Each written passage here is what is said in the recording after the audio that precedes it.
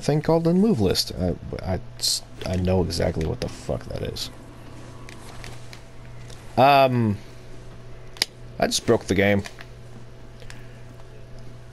Yeah, from the platform you're gonna come out on, on the uh, golden door you're at right now. You can get to the platform where you pull the second camera. Yeah, it's a little glitchy. You have to like, it's weird. You like get stuck on the wall and can double jump from halfway up the wall, even though it's just a flat surface.